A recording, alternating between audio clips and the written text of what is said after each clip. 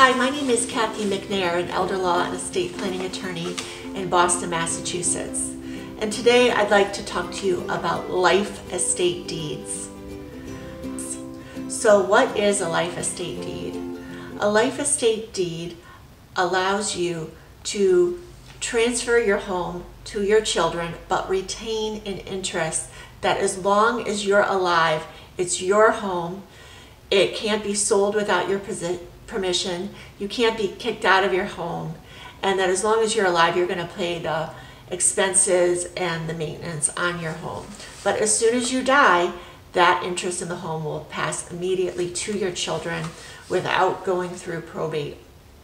So the reason why we often use the life estate deed in our office is because our clients are worried about protecting equity in their home in the event that they need nursing home care. As long as it's set up five years before you need to apply for MassHealth benefits.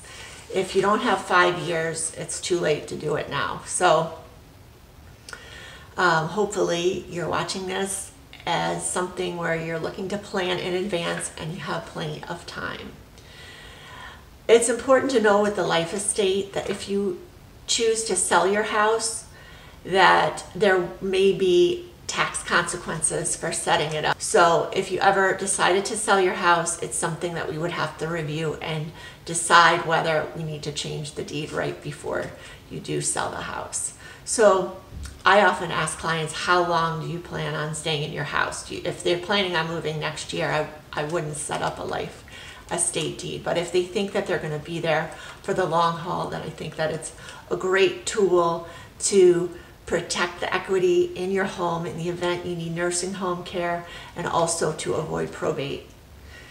The other thing that's important to consider is that once you set it up, the only way you can change it is if everyone named on the property signs to change it.